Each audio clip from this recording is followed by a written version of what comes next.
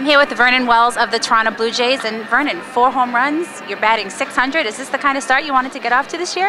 Uh, it's better than not getting hits, but um, obviously I don't think I'm gonna keep this pace up. But it's it's fun while you're in it, and just hope it lasts as long as possible. So I take it your wrist is healthy. So talk about your wrist and what you've been working on with uh, Dwayne Murphy. Uh, the wrist is good. Um, I think it's just allowing me to take more swings, um, try to try to work out the, the bad habits I formed last year. And Murph and I have worked really well together, and he's he's able to tell me stuff, and uh, most of the time I'm able to listen uh, when my attention deficit's not kicking in. But um, we worked well together so far.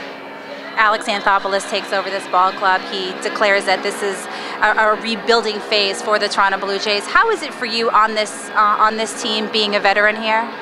Um, it's it's a unique experience for me, just being the uh, being the old guy on the team now. So uh, it's just a matter of uh, leading by example play the game the right way, and uh, guys feed off that, and we're moving in one direction, and that's that's trying to rebuild this organization to get to where it needs to be to be competitive in this division. Well, speaking of some of the young kids, talk about uh, Ricky Romero and Travis Snider, and just what you've seen from those guys.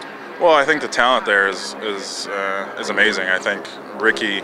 Um, is going to end up being one of the best lefties in our division, which is saying a lot with the names that are in it. So um, he's got the stuff to be dominant every time he's on the mound, and I think he learned a lot uh, being around Doc last year and what it takes to be consistent at this level, especially uh, playing against the teams that we play against. And I heard you're making a difference in some unfortunate children's lives. Talk about your Perfect 10 Foundation and how much that means to you in Texas.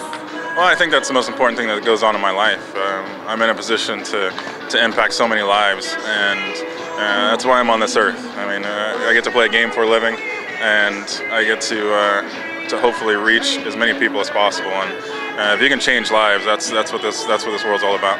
Good luck this season. Thank you.